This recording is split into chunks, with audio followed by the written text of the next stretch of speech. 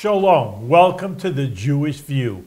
My name is Rabbi Nachman Simon with the Chabad House of Delmar, together with my co-host Mark Ronich of Statewide News Service, jbiztechvalley.com. And as you can see right here, he is now the columnist for the Jewish Press. Right, I write about, a column about how uh, government relates to the Jewish community, or doesn't, as the case may be. And I'm having fun doing all of that. So with us today, though, is a, uh, someone who I've gotten to know more recently, uh, Roger Green. So Oh, yeah. he's f- the president of Friends of the Albany Public Library. That is correct. So welcome to the Jewish View. It's so good to see you here. you. First, we have to say thank you. Here, you know, our studio, if uh, hopefully everybody knows that, is in the Albany Public Library, and you've been a Right. great host to us for the last good few years. And um, so we have to first of all say thank you for letting us use your facilities. Well, if the library is, and we're, we're, we're a, uh, we work with the, the Tell, tell us what the Friends of Okay. the Library is. Friends of the Library started roughly 1947. And in the, the current iteration, which I'd say the last, at least the last decade, we have been putting on programming Mhm. for the library every, every Tuesday, unless it happens to be a, a you know, Right. Christmas or something. Uh, And it's either a, a, someone talks about a book, and, or they may have a, an author talk about his or her book. Mhm. And we've, we've managed to do that on a fairly regular basis and, and attract, you know, 30 to 70 people to, per, per week, depending on the popularity of the book, popularity of the uh, person reviewing the book. You know, Right. th- but we've, we, we do that, we've done that on a regular basis. as- Well, I've been on the board for over a dozen years, I think. Well, since, it says till, since 2005, Well, then that's probably true. till 2010, or that was a board member, it says. Yes, well, I, it- well, So you it- I, still- I won't doubt, I don't doubt it. But it. you're still president, so, And I've only been president a couple of years. right, so I don't know why it's only five years. Uh, This comes off your LinkedIn. Uh, Oh, well, I haven't looked at my LinkedIn have to page. go you know. look at I'll, it I'll go, again. I'll go update my LinkedIn page right away. Okay, No, no, well, after the show's over. not Oh, I right can, I know now. how to leave right now. I'll fix, fix that right up. So, what do you do when you're not uh, doing the Friends of the Library? Well, one of the things, I, I, I think this is true, that I am uh, a sort of a breakthrough person in, in the Friends. That I am the first person to be the president of the Friends of the Library who's a librarian. Oh, very interesting. So I work for the New York Small Business Development Center. Um, I've been working there for 23 years. And one of the things that we do is we have uh, two dozen centers across the state, and we have uh, advisors who meet with people who want to start a small business, or expand a small business, or maybe close a small business, or and they want to pass it on to their, their next generation or something. And so uh, we have very well trained advisors who have lots of information they can provide to these clients. But every once in a while, we get question, they get questions that they cannot answer. So we have four librarians in our office, in, our, in the central office in downtown Albany, and we help them answer their questions about demographics or uh, regulations or you know, uh, you know, uh, two stuff. The, the two questions we've gotten a lot of lately is medical marijuana, Mhm. of which there's very little room because the, the, rules are very strict. But people say, "Oh, there's medical marijuana. Can I get into that?" and the and, and hops growing for uh, Beer. Beer. for beer Yeah, craft because because uh, there's a, a license for the state that allow that gives special emphasis to places that have uh, beer where the hops and the barley are produced in the state of New York in a, in a large percentage. So there's lots of people saying, I want to I want to grow hops or I want to be a It's a big market, you know, there in New York State. I didn't even know about that. It, it's it's Growing. it's growing. Yeah. it, it, and it wasn't the thing. The funny thing about hops in New York is that hops, for the longest time, was was I mean, maybe a century ago.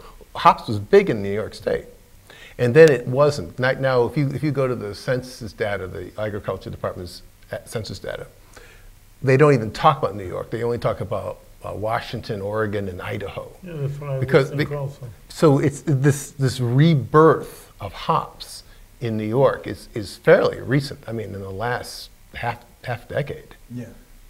Right, no, I agree, because the governor put together this uh, craft beer uh, Initiative. initiative, right, yeah. Yes. And they always, they have this uh, annual roundtable discussion that's done in a square, but not a round table. Right, yeah, they- yes, And they. uh, down in and- the egg or someplace. Yeah, and the governor always uh, has uh, a Few prize, beers. a prize for someone. No, Abe, Yeah. he, he sips, you know, you can't, you, you can't get no, really, was just joking around. I mean, you bring gotta a couple of beers home with me, so they do have free uh, to- Samples? Well, free bottles. That, oh, uh, well, you know, I, they've never invited me, so I, Well, I'll tell. I'll send you an email. If you have- if you have time, okay? connections, uh, All right. we'll We're right, So- right, right down the street. So, yeah. so you're involved. You're an information specialist, a Right. reference librarian at Yes. the New York State School uh, Small Business Development Center. Correct. Okay. And Well, I just wanted to know what kind of education do you need to be in a librarian? You know, I, because it's interesting, because I teach kids one of my 10 jobs, and I was talking about a librarian. He says, well, you have to go to school. Yes. I mean, they just, you know, these, they're high school kids, but they No, just thought, you know, what book do you need? All right, I'll go to the Mhm. shelf. You need a whole, so just even no, there's like a that. master's tell- in Yeah, library I have a- I have a sciences. master's There's an MLS. That's you know. right, which, so which they've changed to MSIS, information, like that, yeah. of information science. But there's, there's a, whole- it's a variety of things that they've changed it to since I graduated, you know, Mhm. You have to know about computers now. I mean, Well, it's, it's the funny thing about my job is that it, if I were ever going to write a paper about my job, it would be how the technology has changed. Because when we first started doing it, we would mail information to our 24 centers. And now it's all packages and PDFs. And so the, the, the task has changed. I mean, not the, the information hasn't changed that much. It, well, that's not true either because with the internet, people say, "Oh, it's all on the internet, so I can find it." But there's always more information that you have to eat that only are available from databases. The other thing the internet has done is that I think government's been really ba- bad at this. Say they say, "Oh, well, we- we'll put it on our website," but of course, I've, I look for that answer to that question. It's not on their website, so I end up having to call them and say, "Okay, what about this thing?" And you have to find the right person. So it's a certain level of investigatory. Um, and specificity. yeah, because your, your your stuff on the website is great, and it's and if I have and I need to know how many cars are in. Um, you know, this county or Right, something right. like that uh, from the DMV, it's there. But if I want to know how many Volkswagens, well, Right, actually, if you really want to know the number of Volkswagens, you have to file a FOIL. That's right. That's actually because the DMV won't. If it's not on their website, Right. you have to file the FOIL. I mean, I don't even. I don't even. If it's not on their website, oh, someone has to do the research. Yes. For you know. That's anyway, right. I wanted to ask you. You're a voracious writer. I write some. Yes, You do. I write pretty much daily. Yes, I would say. I mean, At least. Because you have a Times Union blog, True. uh, true. something about information without the bun. Yeah, that's what it's called. Okay. You also contributed to the Empire page. Not not of late, but I have Not done. of late, but you have. I have done that. Okay, you got to update that. And then you have this thing called Blogiverse, or you did. Yeah, that I, I haven't done it, but I have I have my own. I have okay. I, in in So you- chronological order, I have my own blog. Yeah. I've had my own personal blog. what blog. do you write about? I mean, I never, I Okay. haven't seen it. No, it, I started in 2005, May 2nd, 2005. It's at rogerogreen.com. And I write about whatever strikes my fancy. Right. I write about Culture. culture, I write about movies, I write about. Um, Not specifically books like a library, like no, reviewing I, I, books. you know, I, I write. I, I write about movies. I write about uh, sports if it's, it's, it's something strikes my fancy. Uh, but I also write about a little bit about politics. Uh, wrote yesterday, uh, Easter, which was which was at the time, which was which uh, recently at least, about uh, Paul Ryan. He's the Speaker of the House Speaker of the House, Right. yeah. who wrote a story in uh, Sojourner magazine. It's a Christian uh, online magazine. And he said that he, his understanding about people in uh, on welfare was that they were takers. There's a people who were makers, like manufacturers and working people, and takers. And he realized by talking to people who actually were poor and were not happy about being poor, that that was wrong. He used the word twice, wrong. This is a politician. Yeah, right. And, and I thought that that was a wonderful, you know, I come from a Christian tradition, but it's, it's true of, of most faith, of forgiveness and reconciliation and change. And that my, my sense is that now that he recognizes that he was wrong, then maybe that would lead to a different uh, legislative agenda for the, under, his, under his tutelage.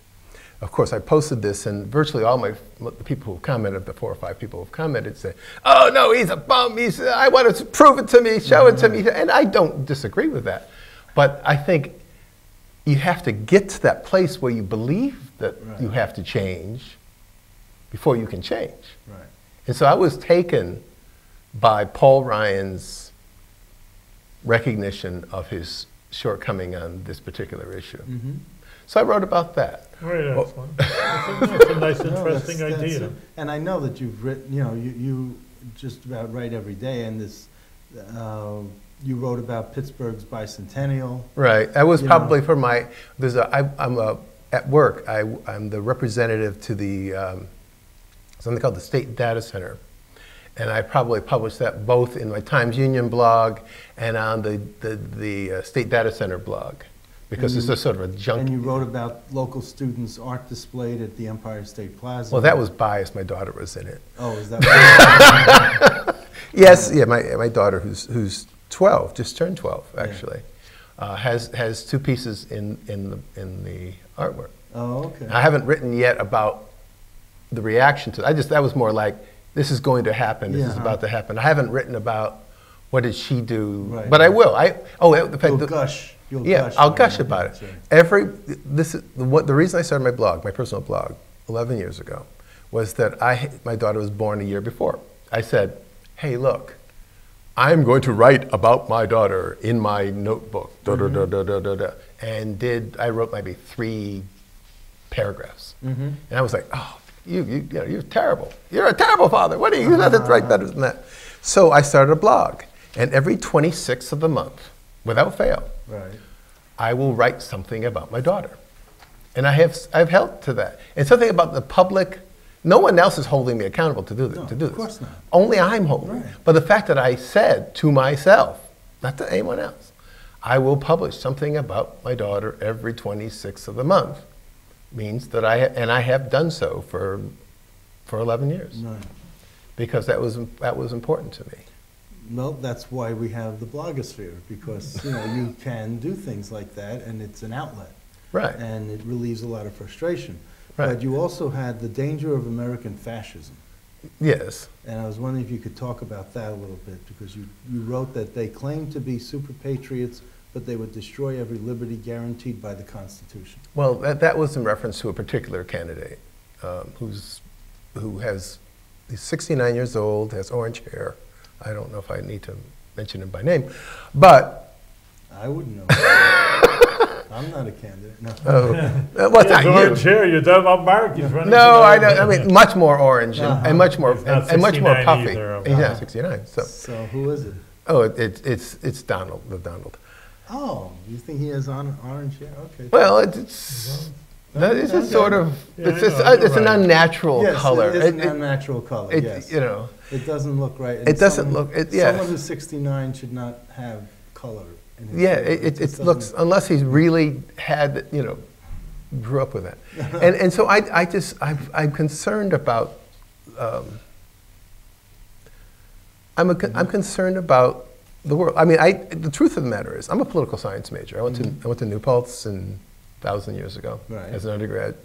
And then I went to, um, um, Graduate school. well, no, I worked at a comic book store for eight and a half Yeah, years. Well, really? FantaCo. That's yeah, right. That's right. Lo- Long, long, bef- long before I went to graduate school. I, went to- I worked there and then I quit after eight and a half years because it was eight and a Well, half years. It went under. No, it didn't go on for another decade. Another decade, but still. It's Well, it, it, it was the result of me going. It, it died 10 years Yeah. later. Yeah. you know, it- it- Once you left, that What's was the end. Yeah, well, pretty, right well, pretty much. That's right. And then after another job I had for a year, and I, I was tooling around. I was a, uh, working the census, actually. I liked working the census. It was Yeah. sort of interesting. Well, but my friend said, "You ought to go to library school because your your your mind works like that." And I said, "I don't want to go to grad school. Oh, you're kidding me! I'd be like, I'd be the oldest person there, and I don't want to do this and da da da." As it turns out, I was I did a study at school. I mean, my dean wanted me to do a study, and I was think I was 37 at the time, and the average age, the, me, the median age of the people there was 37. Really? So it was Right like, in- oh, right I'm, I'm just like right Right, Which right graduate school did you go uh, to? Albany. Right, right here. at Right here, right, the Albany University downtown- of Albany has a the very d- good library sciences. Yeah, the, down, the downtown campus, Yeah. Right, right. which is great. I, I prefer the downtown campus to the uptown campus because I found the uptown campus. Cold and stark. You said it, right? Yeah. Well, I don't disagree, mind you. I love, I love, that's what attracted me to the uni- college was the, ca- was the design of the campus. Mm-hmm. So, I mean, whether someone says it's cold and stark and I Mm-hmm. say it's warm and fuzzy, and I like the uh, Edward Durell Stone uh, Mm-hmm. part of the symmetry, you know, I, I think that was terrific, but now, you know, as the university needed to raise money and do more things, they gotten a little, a little far afield of the symmetry part. Oh, it definitely has. And I, but I always loved this. Some movie that came out in 1980 called Rollover. Yes, Rollo, they I s- taped, they filmed it there. I saw, I saw it. I said I went to see that movie, which Yeah. is terrible, by the way. And, and they As, as it was be- only because that was in there. Kris Kristofferson and Jane Jane Fonda. Fonda, yes. And they stayed at the Desmond, and I actually called up to talk to Kris Kristofferson, and they Mhm. put me through to his room, Mhm. and he says, "Who is this?" And I told him, and he went, "No, "That's it." But at least I got through, and I heard his voice. Oh, and, there you know, go. But I, who, who is this? you know. But but they also they the the scene when I saw the movie, the scene that they did was they came out of a meeting in in one of the Arab countries, Right, and they were walking down the steps at the LOB. right. The meeting that they had was at the assembly hall of Mm-hmm. the um, of the uh, university campus center. Right. So they were at the campus center for the meeting, and as they walked out of the meeting, they walked down the well steps, the Mhm. marble steps in the well. Mhm. So it was like, you know, I knew what, what, that, that it was, you know, miles apart. yes. And I knew what the editing was, but most of the other people who would watch it would think, hey, that's an, you know, Arabian uh, Yeah. set, you know, and The magic film. the magic of, that's right. And I just- like, I like, so I like, So I like to, I thought I'd engage you with that little story. I, I like So- film. I like seeing movies in movie theaters.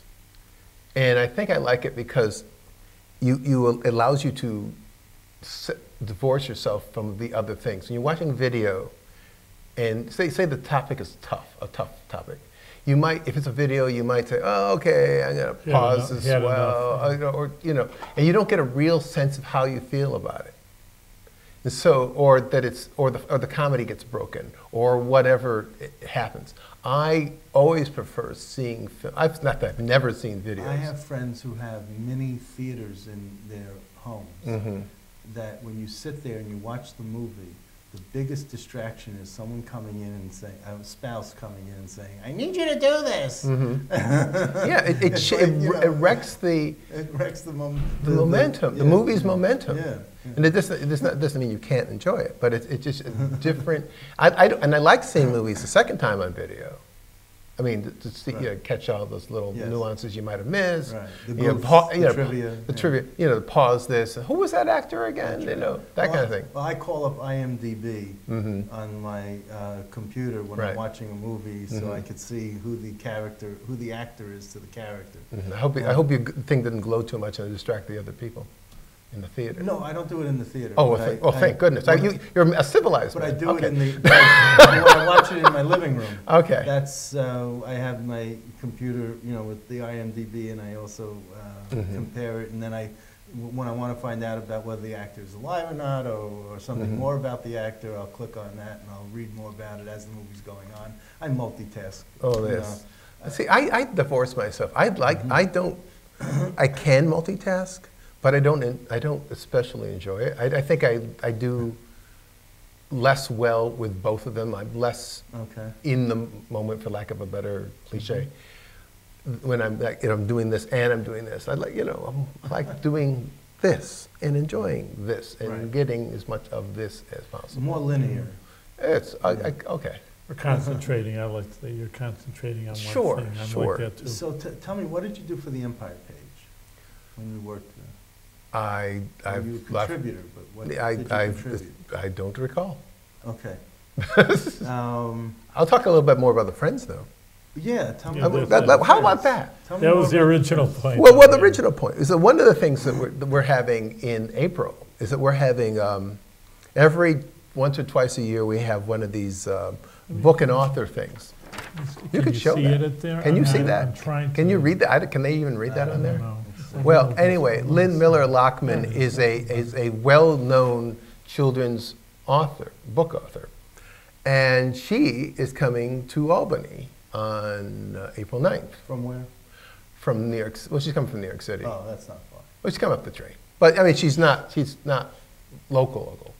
But she's coming up, and at 12 o'clock on the 9th of, of, of um, April, we're going to be doing, um, having a luncheon at the um, University Club, for $20, which is what it costs. There's no, pro- no profit being made here. The charge, they charge us 20 bucks. Right. We're charging people 20 bucks. There's no, there's no, um, and then at 1:30, she's going to talk at, the- at the library, University- Oh, at the library. at the library. Okay. Uh, With library, at 161 Washington Avenue. Right. In case you, And the University Club is just down, is uh, one block away. like a one Yeah, block right, away. That's why we pick it, because it's, So close. it's, yeah. yeah, it does. And, they- and they have a decent food, and they have, they have a lot of other good uh, amen- amenities they serve And- as and- well. And they'll take in kosher food if you, you Oh, know. really? yeah. They- They're they're very, Yeah, they're very They're accommodating. very accommodating. They're very accommodating people. They will uh, make, you know, make arrangements. for kosher Yeah, for, for, yeah, for kosher, for vegan, for, I mean, the- the people, you know. my- Halal, Yes. yeah. My daughter has a peanut allergy. You know, I, I, not that she's going, but. So you have this Lyn Miller, Lachmann, Yes. and who else? Uh, Well, that's, the- that's this, the, the next one we're, we're doing, Yeah, we're okay. doing. Uh, we're also working, there's a, there's an entity called the, uh, Albany Public Library Foundation. And one of the things that's been great about what's happened this last year or so is that the friends have been invited to go to the meetings of the foundation. And They, they, ra- they raised money to do various and sundry things for, the- for the library. So the foundation raised the money, I thought the Friends raised. We also money. raise some money. You In do? fact, we, we, we, we do raise money, but the money we raise come, tends to come from our membership. Right.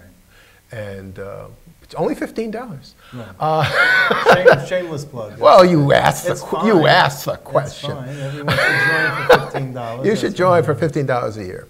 And what we do, what do you do? What do you get for your fifteen dollars? You're right. Well, That's we, we, well, that's a reasonable question. We send up- out a postcard uh, once a month and tell you who the, the speakers are going to be for the month of April. So the postcard for April has that, and also they have the thing about Lyn Miller-Lachmann, and then the May, et cetera. Um, let's see, what else we should talk about? Oh, and, and in the fall, the, the foundation, not us, but we, we will we'll work with them, are, are having one of the, um, the literary legends thing that they've had for like the last two or three years. And we we we always try to support that as a, as a fellow library organization. This year it's going to be uh, Leonard Slade, who's a poet, um, black writer in this is from SUNY, and uh, Marion Roach Smith, who wrote something called the Memoir Project, which is about how people can to take the memoirs to, um, she's written other things too, but the, those are the two books that we're particularly noting because we're having some uh, events, the, the foundation's actually having some events in April to promote that. Who So, heads up the foundation? uh, Holly McKenna, Oh, really? yes, Okay. She used to be on the, on the board. Yeah, I know On the, her, uh, I know her So you're husband. picking out the speakers? I mean, you personally, I mean, The- Well, the, well, they, the, that was a collective decision to pick out those, those, I mean, for, for the foundation? yeah, right. I mean, Well, the, well the, the, the board of the foundation picked out the speakers, I, but they, I had input into that, into that process. You also uh, had Jack McEneny. Yes, Jack is, Fine. Jack is great. Can you tell me what your connection is? Because it seems like he's doing some sort of history about Albany, ver- uh, Well, video. Yeah, well, he, we had him speaking, uh, I think it was last, fall- it was last fall perhaps. Yeah, I was there for that. And, and he's just, um, But a font of But is information. there some? relational, well, Yeah. the, po- with the library, yes, because I think he's been an advisor, I don't know for, formally or not, with the history room Okay. upstairs. So I think he has, because he just knows so much. He does know so much, yes. And know, he, I mean, you know, he's not that old, but he's, I mean, he's, but he, but he knows Right. the history well before his time. Yeah, and he could talk about any ethnicity that was in the Al- city of Mhm. Albany at any time. yes, and it takes me a while because I didn't. I grew up in Binghamton, which is um, To Binghamton High School. uh, Binghamton Central High School, actually. And it was back in the days when there was a Central High School before they merged into Okay. one high school. Class of In ni- 71. yes, mm, yes, thank you very much for that. Uh, yeah, they merged in '82. Okay. So if, you, if you're on some sort of social media, they'll say Binghamton High, Binghamton's High School before 1982, which Right. was the Central and North, and Binghamton High School after 1982. Uh-huh.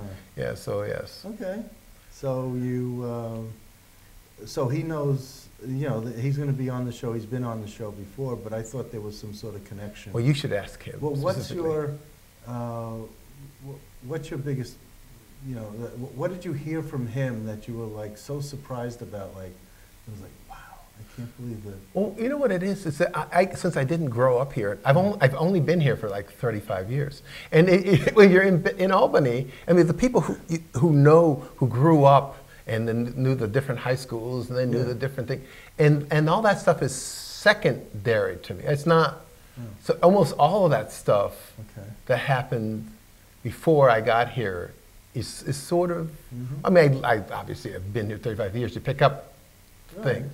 But it's, but he, he, his was so fine that there was an inordinate amount of stuff that I, that I, I didn't know that. Mm, didn't know that either.